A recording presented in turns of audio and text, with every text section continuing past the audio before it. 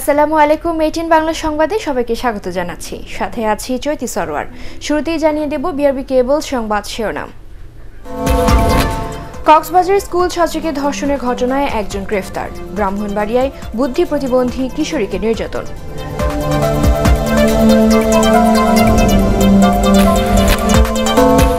ঢাকা বিশ্ববিদ্যালয়ের ছাত্রী ধর্ষণ মামলায় ডাকসুর সাবেক ভিপি নূর সহ অভিযুক্তদের চব্বিশ ঘন্টার মধ্যে গ্রেফতারের আলটিমেটাম মুক্তিযুদ্ধ মঞ্চের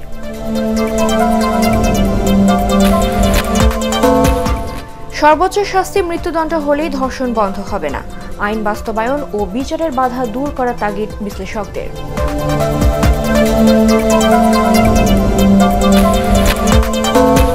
এবং করোনা ভাইরাসে দেশে আরও তেইশ জনের মৃত্যু নতুন শনাক্ত বারোশোরও বেশি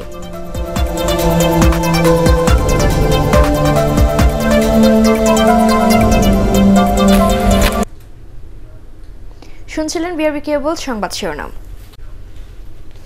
এবারে পুরো খবর ধর্ষণের বিরুদ্ধে বিক্ষোভ আর আন্দোলনের মধ্যেও কক্সবাজারে এক স্কুল শিক্ষার্থীকে ধর্ষণ করেছে এক বখাটে পরে তাকে গ্রেফতার করা হয় ব্রাহ্মণবাড়িয়ার আশুগঞ্জে বুদ্ধি প্রতিবন্ধী কিশোরী ধর্ষণের ঘটনায় গ্রেফতার হয়েছে তার দূর সম্পর্কের এক আত্মীয় সুনামগঞ্জের জগন্নাথপুরে তরুণীকে না পেয়ে বাবাকে মারপিটের ঘটনায় একজনকে গ্রেফতার করা হয়েছে প্রতিনিধিদের তথ্য চিত্রের ভিত্তিতে রিপোর্ট করছেন রাসনা দাস কক্সবাজারের রামুতে স্কুল ছাত্রীকে ধর্ষণ মামলায় গ্রেফতার হয়েছে সাইফুল ইসলাম সোহেল নামের এক বখাটে শুক্রবার সন্ধ্যায় চাবাগান এলাকায় এই ধর্ষণের ঘটনা ঘটে অভিযোগ পেয়ে রাতেই সোহেলকে গ্রেফতার করে পুলিশ ধর্ষণের সহযোগী শাহেদ এখনও পলাতক তাকে গ্রেফতারের চেষ্টা চলছে নোয়াখালীর বেগমগঞ্জে গৃহবধূকে নির্যাতন ও পর্নোগ্রাফি নিয়ন্ত্রণ মামলার প্রধান আসামি বাদুলসহ তিনজনকে নিয়ে ঘটনাস্থল পরিদর্শন করেছেন police bureau of investigation PBI কর্মকর্তারা একলাশপুরের ওই গ্রামে পরিদর্শনের সময় তদন্তকারী মমিনুর রশিদ পাটোয়ারির সাথে অন্যান্য কর্মকর্তারাও উপস্থিত ছিলেন ব্রাহ্মণবাড়িয়ার আশুগঞ্জে বুদ্ধি প্রতিবন্ধী কিশোরী ধর্ষণের ঘটনায় অভিযুক্ত দেলোয়ার মিয়াকে আটক করেছে পুলিশ শুক্রবার রাতে ওই মেয়েকে রাস্তার পাশে ঝোপে নিয়ে নির্যাতন চালায় সম্পর্কের আত্মীয় দেলোয়ার পরে তাকে গ্রেফতার করে পুলিশ লালমনিরহাটে গণধর্ষণ মামলায় রকি নামের এক বকাটেকে গ্রেফতার করেছে পুলিশ গত ছয় অক্টোবর কালীগঞ্জ স্টেশন থেকে কাউনিয়া ফেরার পথে ট্রেন ধরতে ব্যর্থ হলে রকিসহ চার বকাটে বাড়ি পৌঁছে দেওয়ার কথা বলে তাকে ধর্ষণ করে বাকিদেরও ধরার চেষ্টা করছে পুলিশ এদিকে সুনামগঞ্জের জগন্নাথপুরে তরুণীকে না পেয়ে বাবাকে মারপিটের মামলার প্রধান আসামি শামীম আহমেদকে শনিবার আদালতে হাজির করে পুলিশ এ সময় তার দশ দিনের রিমান্ড চাইলে শুনানির জন্য রবিবার দিন ধার্য করে শামীমকে জেল হাজতে পাঠানোর আদেশ দেন জজ আদালত bureau report ATN Bangla Dhaka বিশ্ববিদ্যালয়ের ছাত্রী ধর্ষণ মামলায় ডাকসুর সাবেক ভিপি নুরুল হক নূর সহ অভিযুক্তদের চব্বিশ ঘন্টার মধ্যে গ্রেফতারের আলটিমেটাম দিয়েছে মুক্তিযুদ্ধ মঞ্চ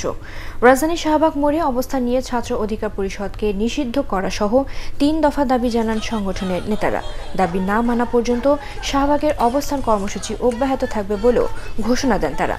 এদিকে মুক্তিযুদ্ধ মঞ্চের অবস্থানের কারণে বিকেলে শাহবাগ মোড়ে যান চলাচল বন্ধ হয়ে যায় ফলে আশেপাশে সড়কে তীব্র যানজট দেখা দেয় আর ধর্ষকদের দৃষ্টান্তমূলক শাস্তি ও ব্যর্থতার দায়ে স্বরাষ্ট্রমন্ত্রী আসাদুজ্জামান খান কামলের পদত্যাগ সহ নয় দফা দাবিতে জাতীয় জাদুঘরের সামনে অবস্থান নিয়ে বিক্ষোভ করছে বামপন্থীদের কয়েকটি সংগঠন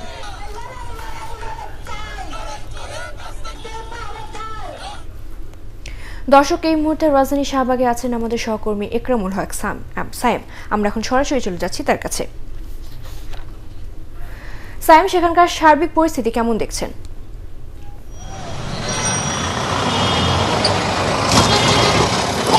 চৈতি আড়াই ঘন্টা বন্ধ থাকার পর এই শাহবাগ মোড়ে এখন যান চলাচল স্বাভাবিক হয়েছে যান চলাচল শুরু হয়েছে কিছুক্ষণ আগে কয়েক মিনিট হলো যে এখানে মুক্তিযুদ্ধ মঞ্চের নেতাকর্মীরা তাদের কর্মসূচি অবস্থান কর্মসূচি প্রত্যাহার করে তারা চলে গিয়েছেন এর আগে ঠিক সাড়ে চারটার দিকে মূলত তারা এখানে অবস্থান নিয়েছিল এখানে অবস্থান নিয়ে তাদের কর্মসূচি চালাতে থাকে তাদের দাবির পক্ষে তারা স্লোগান দিতে থাকে তারা বিক্ষোভ করে একই সাথে তাদের এই অবস্থানের কারণে এখানে যান চলাচল বন্ধ হয়ে যায় এবং এই আশপাশের পুরো এলাকায় তীব্র যানজট তৈরি হয় তাদের দাবি যেটি সংবাদে আপনি জানাচ্ছিলেন তাদের মূল দাবিটি হচ্ছে যে ঢাকা বিশ্ববিদ্যালয়ের যেই ছাত্রী ধর্ষণের ঘটনাটি ঘটেছে এবং ওই ছাত্রী আপনি জানেন যে একটি মামলাও করেছে সেই মামলায় যাদেরকে অভিযুক্ত করা হয়েছে ঢাকা বিশ্ববিদ্যালয়ের ছাত্র সংসদের ভিপি নুরুল হক নূর সহ তার সঙ্গীদের তাদেরকে মূলত চব্বিশ ঘন্টার মধ্যে মধ্যে গ্রেপ্তারে তারা আলটিমেটাম দিয়েছে একই সাথে ছাত্র অধিকার পরিষদ যে সংগঠনটি রয়েছে যেই সংগঠনটির নেতৃত্বে রয়েছে নুরুল হক নূর তিনি এই সংগঠনের যুগ্ম আহ্বায়ক এই সংগঠনটিকে তারা নিষিদ্ধ করার দাবি করেছে এবং এছাড়া এখানে যে ধর্ষণ ও নিপীড়ন বিরোধী বাংলাদেশ নামের যে সংগঠনটি গত পাঁচ দিন ধরে অবস্থান কর্মসূচি চালাচ্ছিল ধর্ষণের বিরুদ্ধে নিপীড়নের বিরুদ্ধে বিভিন্ন বামপন্থী সংগঠন মূলত এই সংগঠনের নেতৃত্ব দিচ্ছে তাদের ব্যাপারেও তারা সমালোচনা করেছে তারা বলেছে যে এই বামপন্থীদের এই সমাবেশ থেকে সরকার বিরোধী নানা ধরনের উস্কানি দেওয়া হচ্ছে সরকার বিরোধী নানা স্লোগান দেওয়া হচ্ছে তাদের বিরুদ্ধেও ব্যবস্থা নেওয়ার কথা মুক্তিযুদ্ধ মঞ্চের পক্ষ থেকে বলা হয়েছে তাদের যেই দাবি রয়েছে সে দাবির মধ্যে এবং একই সাথে এই শাহবাগ মোড়ে যখন তারা তাদের অবস্থান কর্মসূচি করছিলেন একই সাথে জাতীয় জাদুঘরের সামনে ধর্ষণ ও নিপীড়ন বিরোধী বাংলাদেশ নামের সেই সংগঠনটিও তাদের নিয়মিত কর্মসূচি চালিয়েছিল কিছুক্ষণ আগে তাদের কর্মসূচিও শেষ হয়েছে তারা যে নয় দফা দাবি দিয়েছে যেখানে ধর্ষকদের দৃষ্টান্তমূলক শাস্তি এবং ব্যর্থতার দায়ে স্বরাষ্ট্রমন্ত্রী আসাদুজ্জামান খান দর্শক রাজধানী শাহবাগ থেকে যুক্ত ছিলেন আমাদের সহকর্মী ইকরামুল হক সাহেব সর্বোচ্চ শাস্তি মৃত্যুদণ্ডের বিধান রেখে আইন সংশোধন করেই ধর্ষণ ও নারী নির্যাতনের মতো অপরাধ নিয়ন্ত্রণ সম্ভব নয় বরং আইন বাস্তবায়ন ও বিচার প্রক্রিয়ায় বাধা দূর করা জরুরি বলে মনে করেন আইন বিশেষজ্ঞ ও মানবাধিকার কর্মীরা তারা বলছেন নারী ও শিশু নির্যাতন দমন আইনে শাস্তি বিধানের পাশাপাশি আরও অনেক সংশোধন প্রয়োজন হুমায়ুন চিস্তির রিপোর্ট সাম্প্রতিক সময়ে দেশের নানা এলাকায় উদ্বেগজনক হারে বেড়েছে ধর্ষণ ও নারী নির্যাতন শিশু কিশোরী থেকে শুরু করে বৃদ্ধা পর্যন্ত ধর্ষকদের জৈবিক লালসা থেকে রক্ষা পাচ্ছেন না এমন পরিস্থিতিতে ধর্ষণের সর্বোচ্চ শাস্তি মৃত্যুদণ্ডের বিধান রেখে আইন সংশোধন করতে যাচ্ছে সরকার বিষয়টিকে ইতিবাচক হিসেবে দেখলেও আইন বিশেষজ্ঞ ও মানবাধিকার কর্মীরা বলছেন শুধু আইন সংশোধনই এর সমাধান নয় ন্যায় বিচার পাওয়ার ক্ষেত্রে সঠিক ধারায় মামলা দ্রুত তদন্ত ও চার্জশিট দেওয়ার ক্ষেত্রে আইন শৃঙ্খলা বাহিনীর পেশাদারিত্ব জরুরি এছাড়া দক্ষ প্রসিকিউশন ও বিচারকও নিয়োগ দিতে হবে শিশুদের ধর্ষণের মৃত্যুদণ্ড আছে কিন্তু সেটা কিন্তু প্রয়োগ হচ্ছে না এবং ধর্ষণও কিন্তু কমে নাই শুধু একটা আইন করে দিলে হবে না আইনের প্রয়োগের জন্য কিন্তু যেই সাপোর্ট যেই অর্থবল যেই বিষয়গুলো লাগে এগুলো কিন্তু খুবই প্রয়োজন আমাদের সব থেকে বড় চ্যালেঞ্জ এখন যেটা যেটা হলো যে বিচারহীনতা একটা ভিকটিম সেই ধরনের সুবিধাটা তারা থানায় পায় না কোর্টে পায় না মামলা গ্রহণ করাতেই তাদের সমস্যা হয় তারপরে যদি বা মামলা কোনোভাবে গ্রহণ হয় কিন্তু অনেক সময় লাগে তদন্তে পাবলিক প্রসিকিউটর অফিস এখানে যথেষ্ট গাফিলতি দেখায় ধর্ষণ মামলাগুলোর ক্ষেত্রে নিয়মিত ও কঠোর তদারকির মাধ্যমে এসব মামলা সঠিক সময়ে শেষ করা সম্ভব বলেও মনে করেন তারা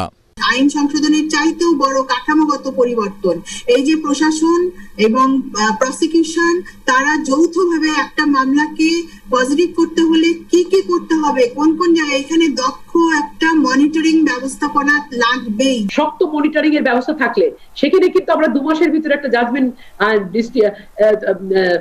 ডিস্ট্রিক্ট কোর্টে কিন্তু যায় ধর্ষণ ও নারী নির্যাতনের মামলার বিচার নিম্ন আদালতে শেষ হলেও উচ্চ আদালতে বছরের পর বছর ঝুলে থাকে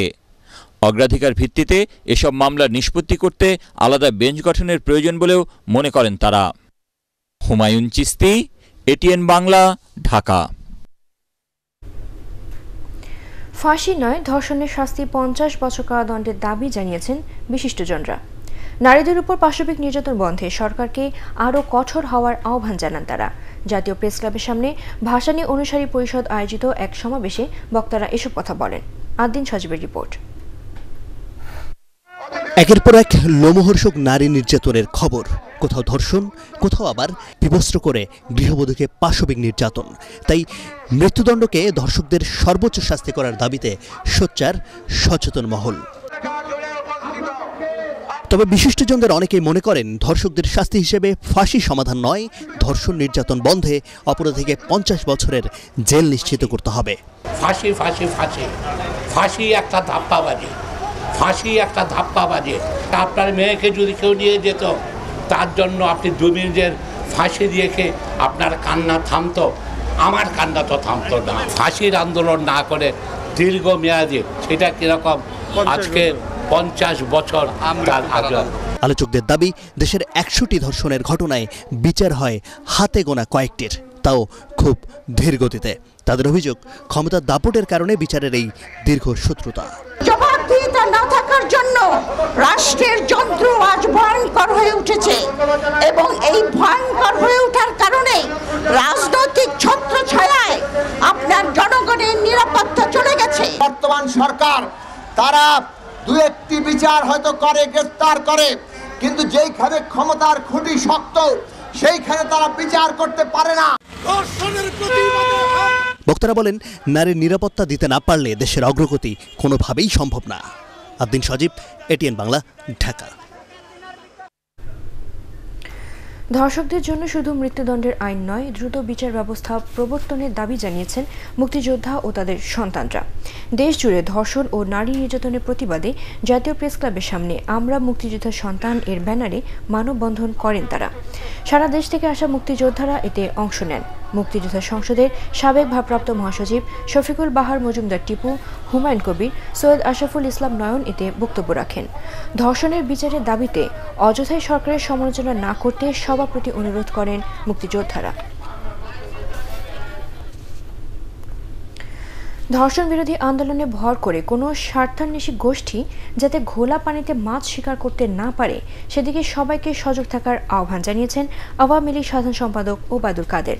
তার সরকারি বাসভবন থেকে ভিডিও কনফারেন্সের মাধ্যমে গাজীপুর জেলা আওয়ামী লীগের বর্ধিত সভায় তিনি এ আহ্বান জানান এ সময় তিনি বলেন ক্যাসিনো বিরোধী অভিযান থেকে শুরু করে স্বাস্থ্য খাতের অনিয়ম রুখতে যে শুদ্ধি অভিযান সরকার পরিচালনা করছে তা কারো দাবির প্রেক্ষিতে নয় স্বপ্রণোদিত হয়েই করছে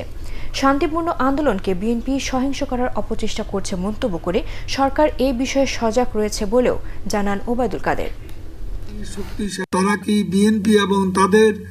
সংগঠনের ধর্ষণকারীদের রক্ষা করতে চান তারা আন্দোলনকে ভিন্ন খাতে নিতে সরকারের পতন চান শান্তিপূর্ণ আন্দোলনকে সহিংস করার অপচেষ্টা করছে বিএনপি সরকার সজাগ রয়েছে যারা ষড়যন্ত্রকারী গুজব রটনাকারী তাদের চিহ্নিত করার কাজ চলছে এটা কেউ যেন মনে না করেন যে লুকিয়ে লুকিয়ে অপকর্ম করে দলের মধ্যে নিজের দাপটের অস্তিত্ব রক্ষা করবেন সে ব্যাপারে সারা বাংলাদেশেই সব অপরাধীরা কঠোর নজরদারিতে রয়েছে বিএনপি ক্ষমতায় থাকাকালে দেশের নারী নির্যাতন ও ধর্ষণ আরও বেশি হয়েছে দাবি করেছেন তথ্যমন্ত্রী ড হাসান মাহমুদ চট্টগ্রাম সার্কিট হাউসে বার্ষিক কর্ম সম্পাদন চুক্তি বিষয় প্রশিক্ষণের উদ্বোধনী অনুষ্ঠানে বিএনপি মহাসচিব মির্জা ফখরুল ইসলাম আলমগীরের সরকার বিরোধী বক্তব্যের নিন্দা জানান তিনি তথ্যমন্ত্রী বলেন অতীতে যারা এসব অপকর্ম করেছে তাদের মুখে সমালোচনা মানায় না আকাশ সংস্কৃতির আগ্রাসনে আমাদের নিজেদের সংস্কৃতি এখন হুমকির মুখে বলেও মন্তব্য করেন তিনি দেশীয় সংস্কৃতি রক্ষায় গণমাধ্যমকে ভূমিকা রাখার আহ্বান জানান ডক্টর হাসান মাহমুদ যে ফখরুল সাহেবরা যখন ক্ষমতায় ছিল তারা তো দলগতভাবে এই সমস্ত অপকর্ম করেছেন নৌকায় ভোট দেওয়ার অপরাধে আট বছরের শিশু থেকে শুরু করে অন্তঃসত্ত্বা মহিলা এবং ষাট বছর বয়স্কা মহিলা কেউ বাদ যায় যারা এই নারী নির্যাতন ধর্ষণগুলো দলগতভাবে অতীতে করেছে এই নিয়ে যখন তারা কথা বলে সেটি তখন হাস্যকর হয়ে দাঁড়ায় জনসমর্থন নয় আওয়ামী লীগ অন্য দেশের দয়ায় ক্ষমতায় টিকে আছে বলে মন্তব্য করেছেন বিএনপির সিনিয়র যুগ্ম মহাসচিব রুহুল কবির রিজভি দেশব্যাপী ধর্ষণ নারী নির্যাতন ও ভিন্ন মতের শিক্ষকদের চাকরিচ্যুতির প্রতিবাদে জাতীয় প্রেস ক্লাবের সামনে বাংলাদেশ শিক্ষক সমন্বয় কমিটি আয়োজিত মানববন্ধনে তিনি এই মন্তব্য করেন এই আমলে তো ধর্ষণ নারীর উপর নির্যাতন এবং সেখানে বাহাত্তর বছরের বৃদ্ধা থেকে শুরু করে পাঁচ বছরের শিশুও বাদ যায়নি এগুলোর উন্নয়ন চমৎকারভাবে ঘটিয়েছেন প্রধানমন্ত্রী এখানে জনগণ নেই এখানে সুষ্ঠু ভোট নেই এখানে নির্বাচন নেই তাই অন্যের দয়ায় তিনি আছেন দেশের জনগণের দয়ায় তিনি ক্ষমতায় নেই ধর্ষণের সর্বোচ্চ শাস্তি মৃত্যুদণ্ডের দাবি জানিয়েছেন জাতীয় পার্টির চেয়ারম্যান গোলাম মোহাম্মদ কাদের জাতীয় পার্টির চেয়ারম্যানের বনানী কার্যালয়ে কুষ্টিয়া জেলা জাতীয় পার্টির সাংগঠনিক সভায় তিনি এ দাবি জানান জবাবদিহিতার অভাবে সামাজিক অবক্ষয় এবং নারী নির্যাতনের ঘটনা বেড়েছে বলেও মনে করেন বিরোধী দলীয় উপনেতা জি এম কাদের হাট বাজার রাস্তাঘাট দোকানপাট যানবাহন সবকিছুই আমরা খুলে দিয়েছি সেখানে আমরা কোনো বাধা দিচ্ছি না কিন্তু এই একটি মূল্যবান এবং অত্যন্ত জরুরি একটি মেধা বিকাশ মেধা যাচাইয়ের যে পরীক্ষা সেই পরীক্ষার সময় আমরা বলে দিলাম যে আমরা তার আগের জুনিয়র স্কুল সার্টিফিকেট আর সেকেন্ডারি স্কুল সার্টিফিকেট পরীক্ষার ফলাফল দেখে একটা কোনো ফর্মুলার মাধ্যমে আমরা ঘোষণা করব সবাইকে পাস ডিক্লেয়ার করব। এটা হয়তো সরকারের জন্য খুব সহজ হবে কাজটা কিন্তু সারা দেশের জন্য এটা একটা ক্ষতিকারক প্রভাব ফেলবে করোনা ভাইরাসে দেশে গত চব্বিশ ঘন্টায় আরও তেইশ জনের মৃত্যু হয়েছে এ নিয়ে মৃতের সংখ্যা বেড়ে দাঁড়ালো পাঁচ হাজার পাঁচশো জনে সবশেষ চব্বিশ ঘন্টায় দশ হাজার আটশো উনষাটটি নমুনা পরীক্ষায় নতুন করে এক হাজার দুশো তিন জনের করোনা শনাক্ত হয়েছে শনাক্তের হার এগারো দশমিক শূন্য আট ভাগ এ নিয়ে মোট আক্রান্তের সংখ্যা তিন লাখ সাতাত্তর হাজার তিয়াত্তর জন স্বাস্থ্য অধিদপ্তরের সংবাদ বিজ্ঞপ্তিতে এসব তথ্য জানানো হয় গত চব্বিশ ঘন্টায় সুস্থ হয়েছেন এক হাজার চারশো তিপ্পান্ন জন এ পর্যন্ত সুস্থ হয়েছেন দুই লাখ একানব্বই হাজার তিনশো পঁয়ষট্টি জন শনাক্ত বিবেচনায় সুস্থতার হার সাতাত্তর দশমিক দুই সাত ভাগ মৃতদের মধ্যে পনেরো জন পুরুষ ও আট জন নারী চব্বিশ ঘন্টায় ঢাকা বিভাগে সর্বোচ্চ উনিশ জন মারা গেছেন মূল্যায়নের ভিত্তিতে এইচএসসি পরীক্ষার ফলাফল দেওয়ার সিদ্ধান্তে সৃষ্টি হয়েছে নানা ধরনের জটিলতা পরীক্ষা ছাড়া বিষয়ভিত্তিক নম্বর বন্টন কিভাবে হবে তা নিয়ে দুশ্চিন্তায় শিক্ষার্থীরা তবে মূল্যায়ন কমিটি বলছে নম্বর বন্টনের ক্ষেত্রে কেউ যাতে ক্ষতিগ্রস্ত না হয় তা বিবেচনা করেই ফলাফল তৈরি করা হচ্ছে মাহবুব কবির চপলের রিপোর্ট করোনা মহামারীর মধ্যে যখন সব কিছু প্রায় স্বাভাবিক তখন স্বাস্থ্য ঝুঁকির আশঙ্কায় বাতিল করা হয়েছে এইচএসসি পরীক্ষা তাতে আপাতত স্বস্তি মিলেছে পরীক্ষার্থীদের একে মন্দের ভালো বলছেন শিক্ষা গবেষকরা আমরা যদি অন্য দেশের উদাহরণ দেখি কোথাও কিন্তু পাবলিক পরীক্ষা নেওয়া হচ্ছে না এই পর্যায়ে আশা করব সরকার একটি ভালো দিক নির্দেশনা দেবেন যে এদের মূল্যায়ন কিভাবে হবে এবং তারা যাতে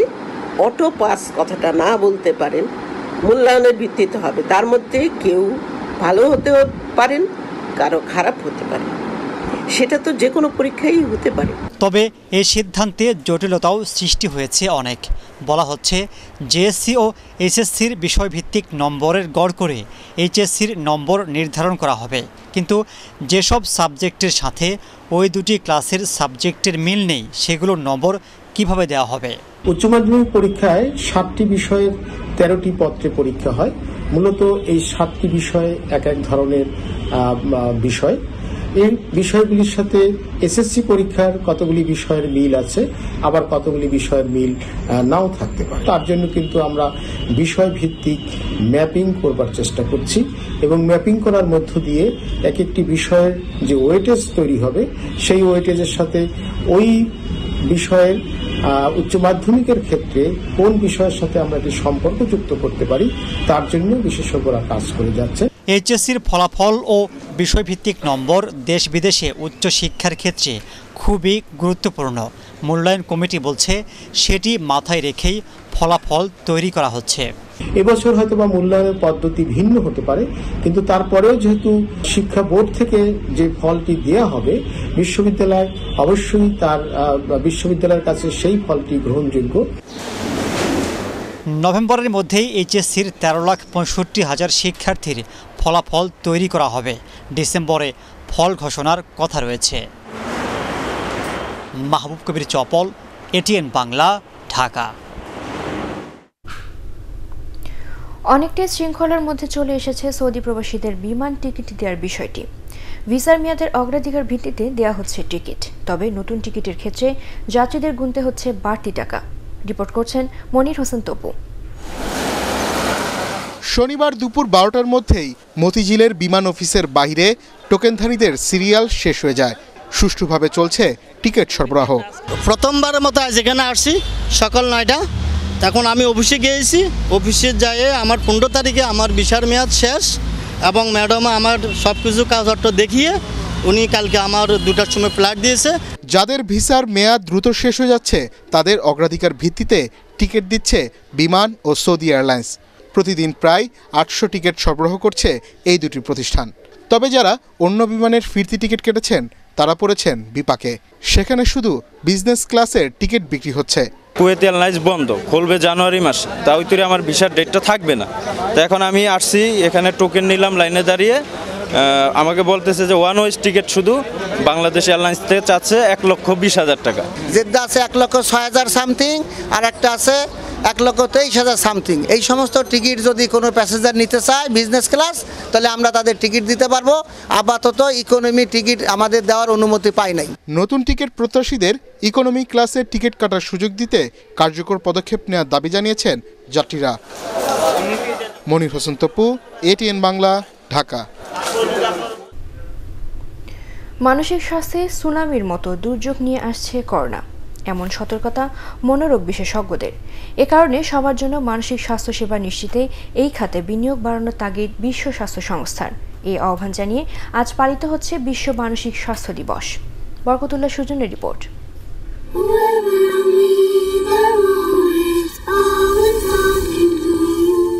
নতুন প্রজন্ম সহ সারা বিশ্বের মানুষের দৈনন্দিন জীবনযাপনে বড় ধরনের পরিবর্তন এনেছে করোনা মহামারী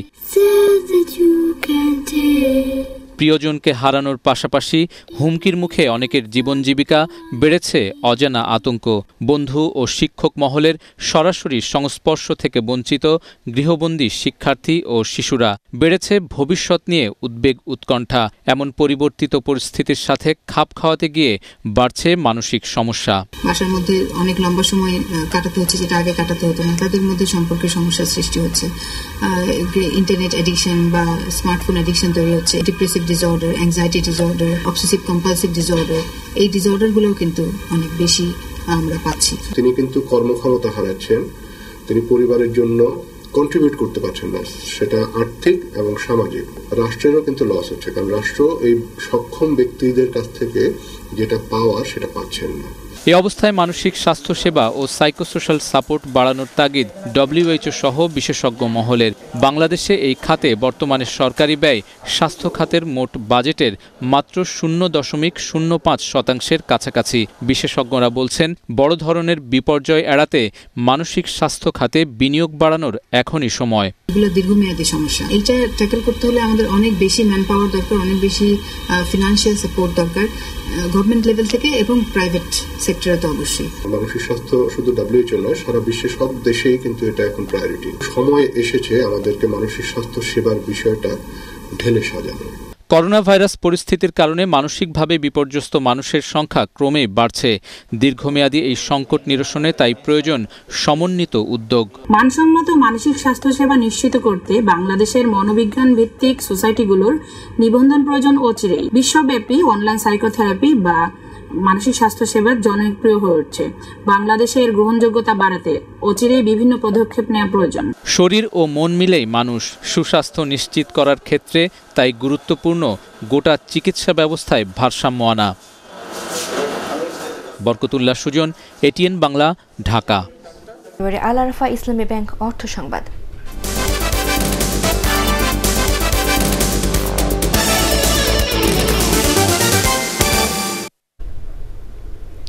2022 সালের পহেলা জানুয়ারি থেকে দেশের সব কাস্টমস হাউস ও কাস্টমস স্টেশন সমূহের শুল্ক কর ও ফি সহ সব ধরনের চার্জ ই পেমেন্টের মাধ্যমে পরিশোধ বাধ্যতামূলক করা হবে বলে জানিয়েছেন এনবিআর চেয়ারম্যান আবু হেনা মোহাম্মদ রহমাতুল মুনিম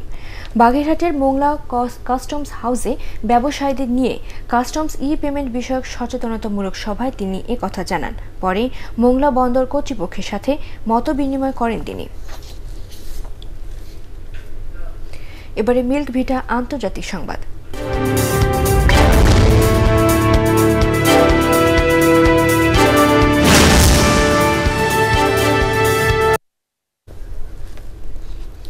ভারতের পূর্বাঞ্চলীয় লাদাখের নিয়ন্ত্রণ রেখার আশপাশে চীন ষাট হাজারেরও বেশি সেনা মোতায়েন করেছে বলে জানিয়েছেন মার্কিন পররাষ্ট্রমন্ত্রী মাইক পম্পিও বেইজিংয়ের সাম্প্রতিক আচরণ এবং ভারত প্রশান্ত মহাসাগরীয় অঞ্চলের দেশগুলোর জন্য চীন হুমকি হয়ে ওঠারও সমালোচনা করেন তিনি এর আগে মঙ্গলবার টোকিওতে এক বৈঠক করেন যুক্তরাষ্ট্র জাপান ভারত এবং অস্ট্রেলিয়ার পররাষ্ট্রমন্ত্রীরা এবারে খেলার খবর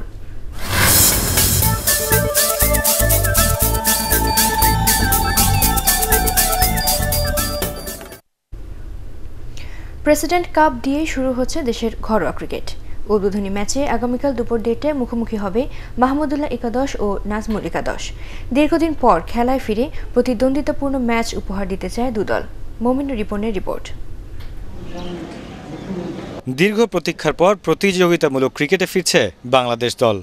জাতীয় দল এইচপি ও অনূর্ধ্ব উনিশ দলের ক্রিকেটারদের তিন ভাগে ভাগ করে আয়োজন করা হচ্ছে presidents cup one day tournament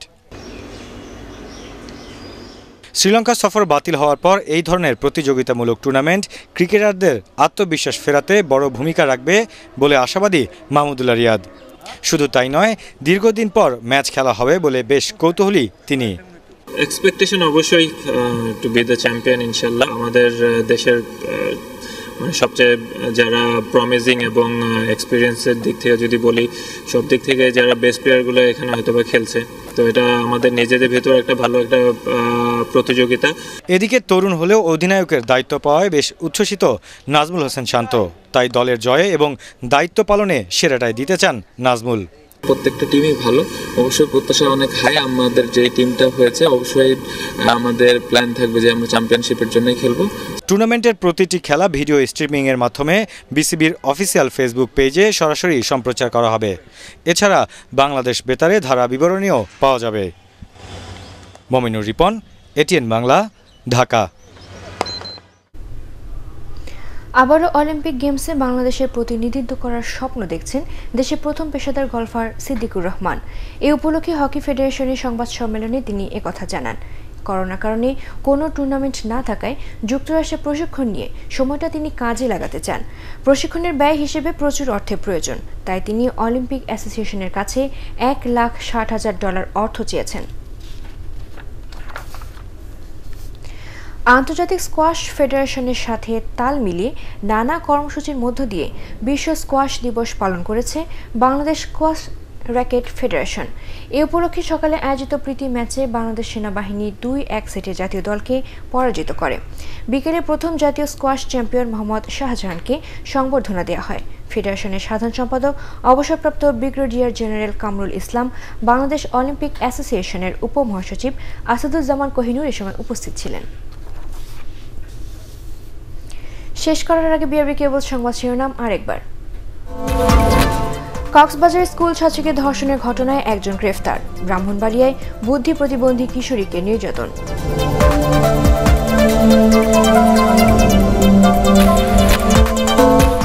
Dhaka বিশ্ববিদ্যালয়ের ছাত্রী ধর্ষণ মামলায় ডাকসুর সাবেক ভিপি নূর সহ অভিযুক্তদের চব্বিশ ঘন্টার মধ্যে গ্রেফতারের আলটিমেটাম মুক্তিযুদ্ধ মঞ্চের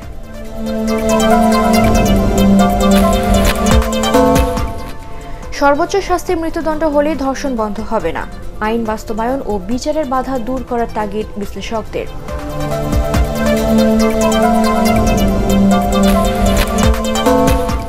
এবং করোনা ভাইরাসে দেশে আরও তেইশ জনের মৃত্যু নতুন শনাক্ত বারোশোরও বেশি